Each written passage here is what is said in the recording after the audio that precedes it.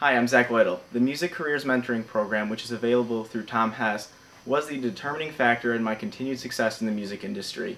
Without it, I would either be having a day job or only be pursuing music on the nights and the weekends. When I was growing up, I heard all the stereotypical statements. I heard things like, you're just going to be a starving artist, or you need to know someone in order to make it, or you need to get lucky.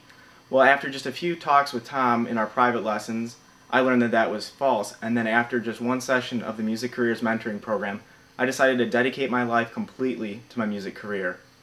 As the sessions progressed in the MCMP, I began to learn a lot about music, the music industry, and myself and what I wanted for my life. Without the Music Careers Mentoring Program, there is no way I would be a professional musician. I would not have international product sales, have a steady live performing career, or have endorsements from any large company.